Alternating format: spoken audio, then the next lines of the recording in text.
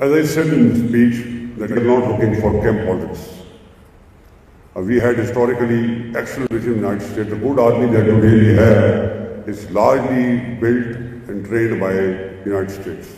The best equipment that we have is the American equipment. We still have uh, deep cooperation with the United States and our Western friends.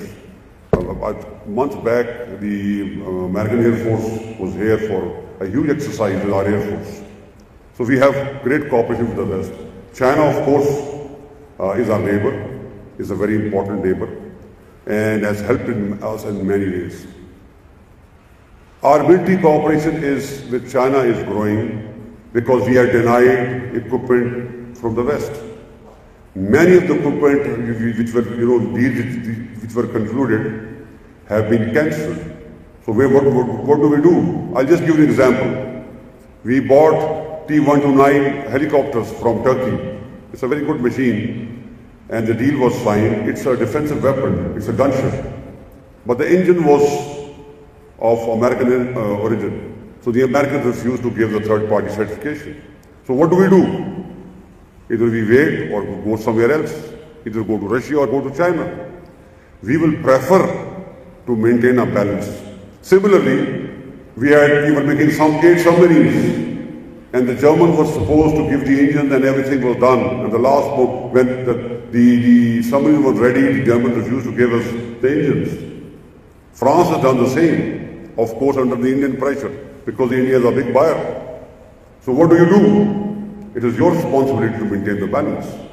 If you are tilted towards one side uh, outrightly, uh, we'll find, you know, sources from where we can get uh, weapons to, uh, you know, save ourselves. So you need to you know, carry out uh, introspection whether your policy is right or not.